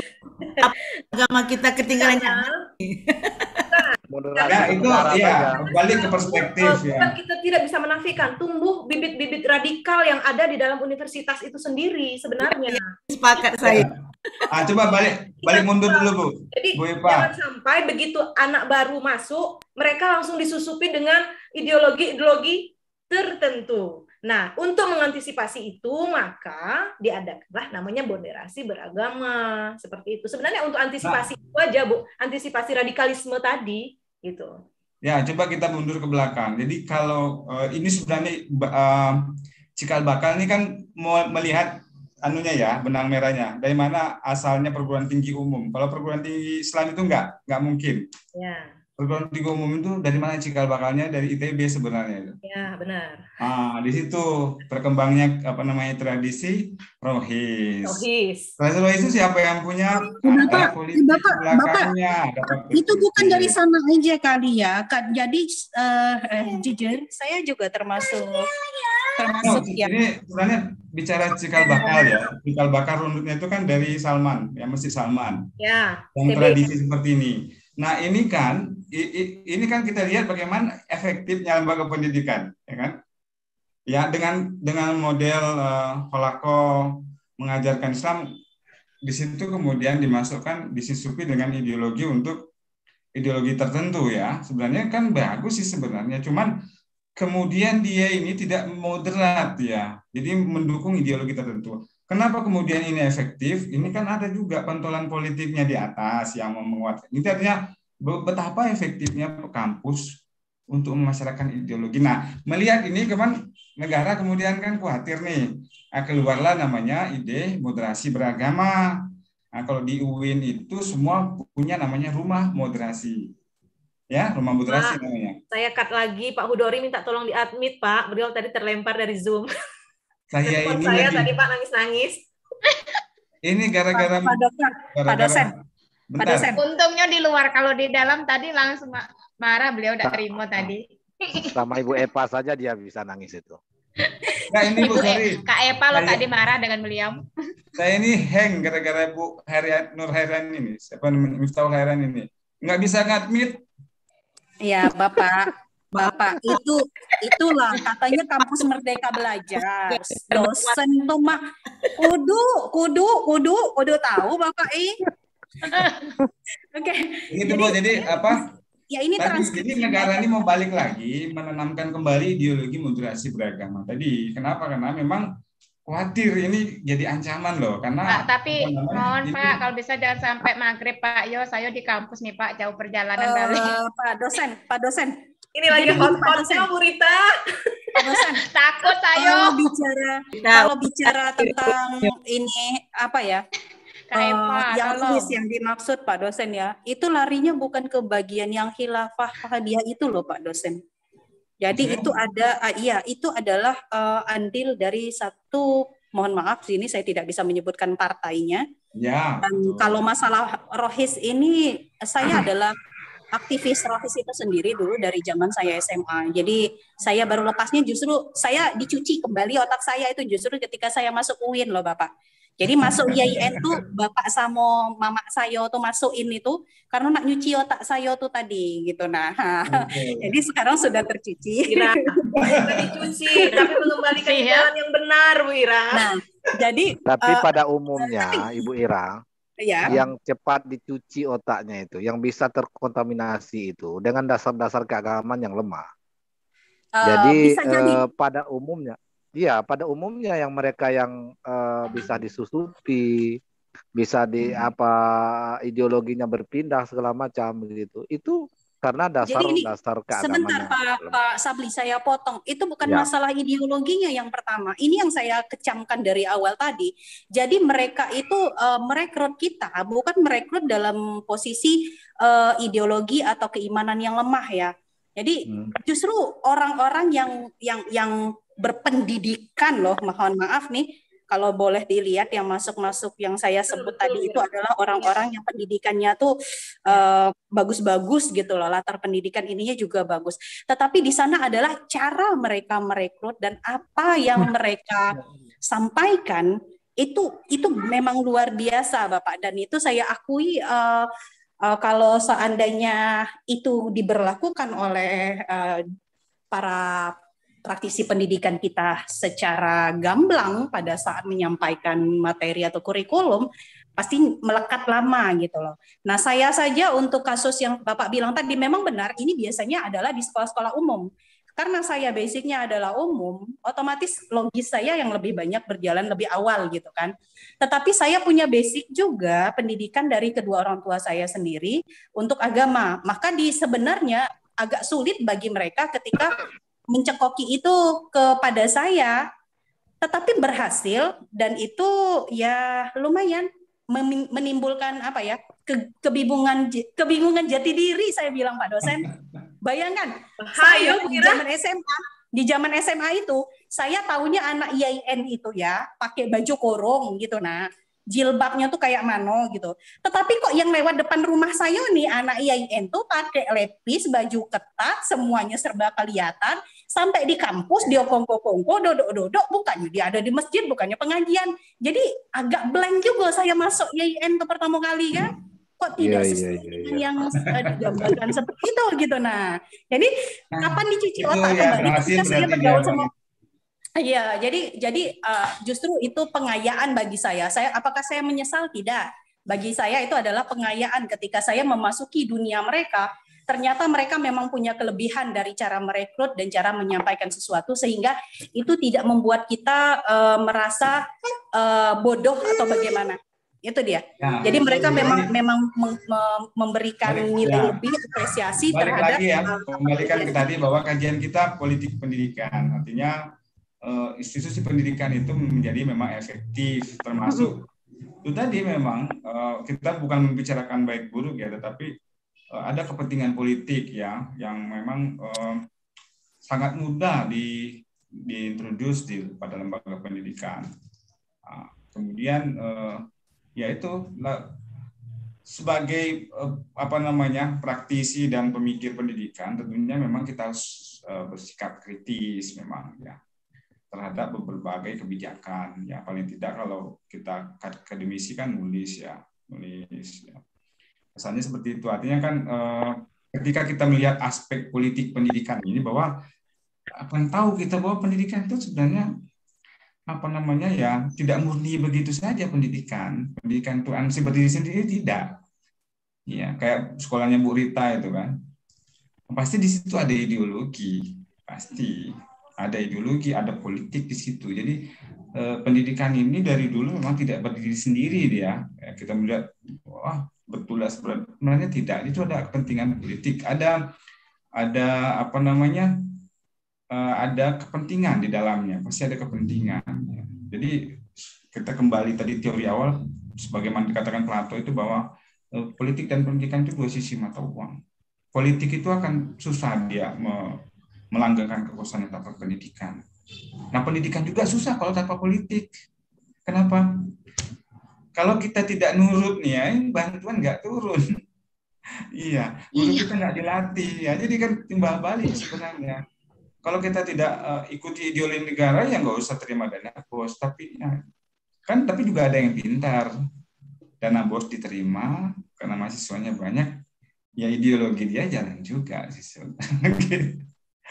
gitu. Jadi ya kenapa kita lembaga pendidikan butuh politik ya? Dia butuh kelanggengan juga, butuh dukungan negara tadi, ya, butuh dukungan moral, butuh dukungan, dukungan ya. administrasi, butuh dukungan finansial, begitu.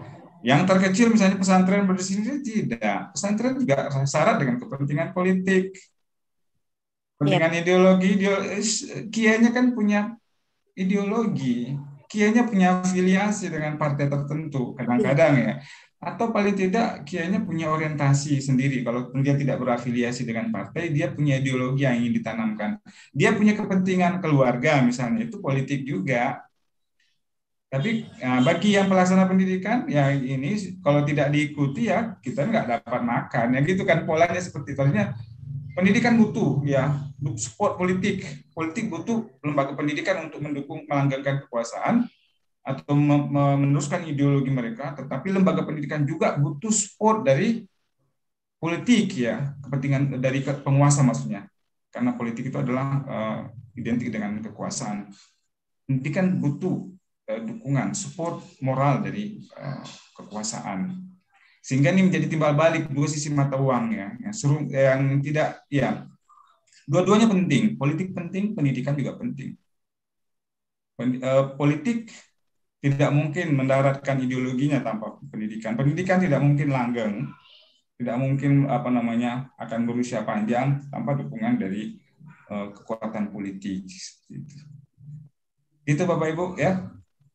Saya kira cukup ya. Nanti diskusinya dipikir-pikir lagi dari rumah. Ini semakin sore semakin hot ini Pak. Jadi sekali lagi ini ya, bukan soal oh, bukan soal baik buruk hari ini, bukan soal baik buruknya uh, ideologi tertentu bukan, tetapi bagaimana uh, kemudian pola-pola orang pola-pola orang menanamkan ideologi melalui pendidikan gitu kan. Iya. Pola-pola pendidikan menaruh kepentingan kepada pihak berkuasa. Pak Jamal, boleh sedikit closing statementnya? Bisa disambung pertemuan selanjutnya, saya kira ya Pak ya. Ya sebenarnya Ibu Rita kalau mau izin kan sudah minta izin tadi. Monggo aja lah kalau Pak yeah. boleh. Gitu. Silakan Bu Rita. Bu, naik motor. Itu Ibu Tapi saya sayang Pak kalau meninggalkan diskusi ini Pak. Nanti saya ketinggalan ya. informasi. Emang sangat menarik. Saya. Iya. Iya, iya Ibu naik motor lah Bu. Nanti hujan. Iya, ya, jangan Ayo, nggak apa, dimatiin aja Pak Dokter udah boleh tuh. Nanti ya. kita sama. Ya udah, ya kita kan lanjut di minggu depan ya. Ya Pak. Oke. Okay. Iya. Oke, okay, see you. Terima kasih. See you. Assalamualaikum. Besok transkripnya matiin Pak. Ya, assalamualaikum. Ya ini mak, ini N aja nggak bisa nih gara-gara. Besok, ya, besok, besok agak majuin waktunya Pak. majuin lagi waktunya sedikitnya rasanya diskusi nih Pak. Oh iya iya. Sudah sudah Pak, maghrib Pak. Maghrib Pak, sudah Pak. Ya, ya sudah, ya boleh lift, boleh lift. Tidak enak lah kalau saya duluan, tidak sopan. Ya elah aja. Rita. Akan Rita. Oh iya. Rita kita Rita, kami mau apa? Ini ada yang membuat kemudian ini uh, hang. Ini baru mau uh, recovery, nggak tahu gara-gara Miftahul Hairani tadi kayaknya nih. Nah, baru bisa end. ya. Tuh, biar teroknya. Iya. Atau ada yang hack ya? Itu kan dari akun bapak. Kok saya pula yang kena mentang-mentang saya selama jalan tadi dia hang soalnya. Uh, sengaja tuh selalu salahnya Ira. Oke okay lah. Ayo, ayo, oke, okay, see you. Ya, silakan.